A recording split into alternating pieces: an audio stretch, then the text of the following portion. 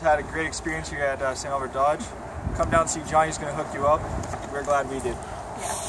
Thank you.